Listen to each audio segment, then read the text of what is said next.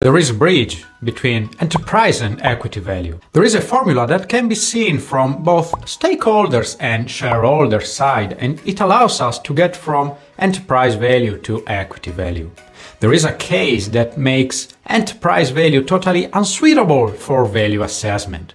Also, if you want to know what is a good enterprise value and formula to use the right multiples, you should follow me for the next 5 minutes.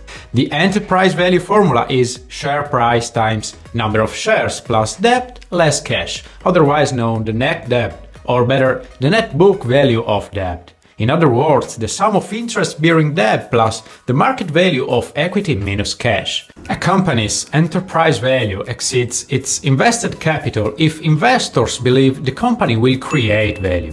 This is the main difference between enterprise and equity value. Enterprise value represents a more comprehensive measure of an organization's value than equity value.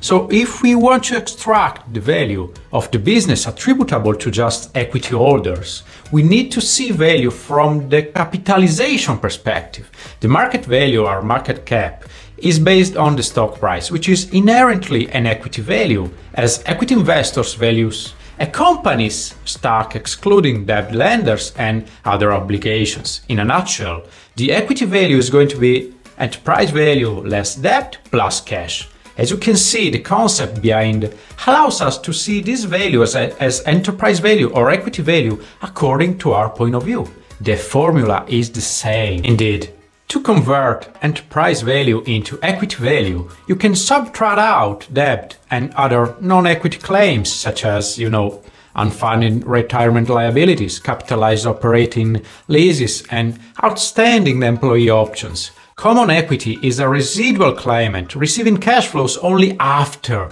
the company has fulfilled its other contractual claims. Dividing the estimated equity value to the most recent number of shares outstanding allows us to obtain an estimated value per share. The intrinsic value can be compared with other market prices in order to find reasons behind this data, opportunities and risks. By the way, what role is played by value in M&A? In mergers and acquisitions, the transaction value may vary according to the negotiation terms. Enterprise value is usually used when making an offer to acquire business, and equity value is what the seller will actually receive. As a result of the deal, the actual purchase price may fall between equity value and enterprise value, or maybe above it, or even below it. In value estimation, goodwill plays a crucial role. It's affected by subjectivity and so it's often calculated in a deductive way as the enterprise value of the target firm less the net value of its assets and liabilities. Take into consideration this. According to Damodaran, this leads to an alteration of comparable multiples that rely on earnings and book value. So is it better to use enterprise or equity value? It depends on the perspective. When looking at core business operations, stakeholders prefer the enterprise value, while common shareholders prefer to focus on the equity, mostly if they are focusing on the current equity value, otherwise known as market cap. For public companies, current share price times shares outstanding. There are cases in which one or the other metric is not appropriate. For instance, using enterprise value for financial institution or banks can be totally misleading. The core business of a bank, its debt structure and, you know, the role of interest is not suitable for the idea behind enterprise value formula. Equity side metrics are better. Also, it's standard practice in private company valuation to reduce value by 20 to 25% to reflect illiquidity.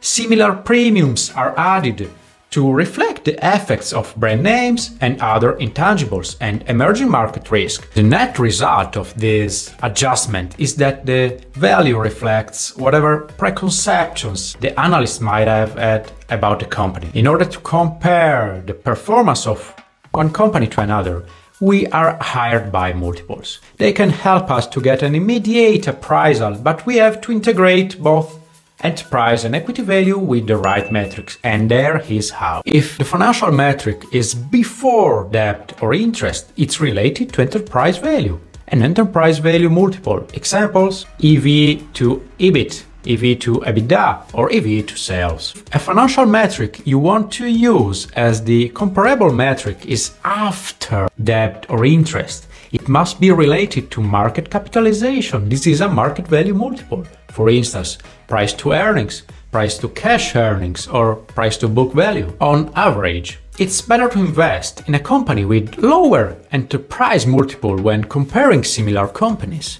The rule of thumb says that an EV to EBITDA is considered healthy if it's lower than 10.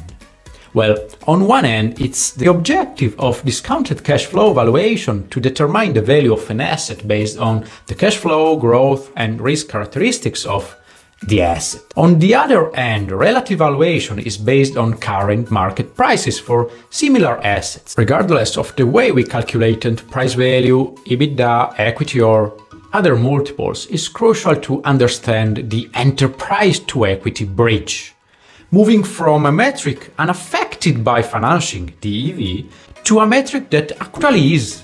Nonetheless, the estimation of growth, prospects, and risk profiles has to be as objective as possible. The personal adjustment has to be minimized, and variables of the chosen comparable companies have to be founded on objective criteria. So, thank you all so much for watching. Please support the channel, the free content creation, and if you have any questions, feel free to PM me. I'll catch you later.